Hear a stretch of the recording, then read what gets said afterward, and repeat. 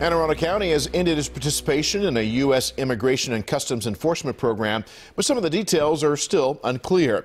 The county began processing inmates under the program in which local law enforcement agencies check the immigration status of people they've arrested in December 2017.